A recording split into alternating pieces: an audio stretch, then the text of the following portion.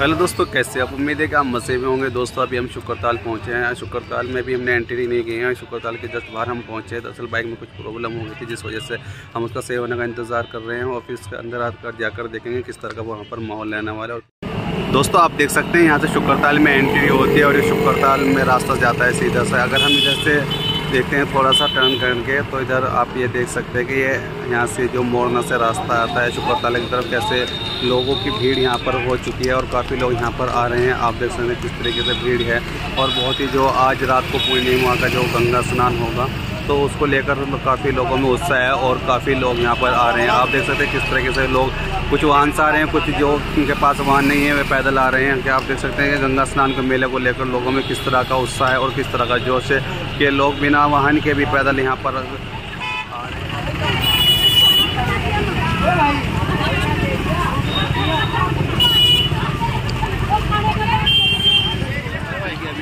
शुरू हो चुका है पूरी तरीके से, पूरे उफान पे अपने मेला आ गया है। और आप देख सकते हैं किस तरीके से लोग यहाँ पर मेले में आ रहे हैं और भीड़ पूरी हो चुकी है मेले में।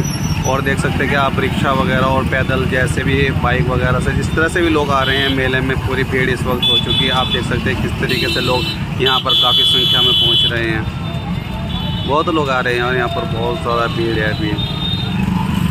अभी आप देख सकते हैं किस तरीके से लोग यहाँ पर काफ़ी पहुँच रहे हैं और बहुत ज़्यादा यहाँ पर भीड़ होने वाली है। अभी तो हम शुक्रताल में एंट्री भी नहीं किया। शुक्रताल का यहाँ पर ये बोर्ड लगा हुआ है, जहाँ से एंट्री हो रही थी। बस आप देख सकते हैं, मगर यहाँ पर काफ़ी भीड़ हो चुकी है और काफ़ी लोग यहाँ पर आ रहे हैं। तो फिर आगे हम देखेंगे, फिर अंदर जाएँगे फिर अंदर से आपको हैं कि हम किस भैया को देख लो।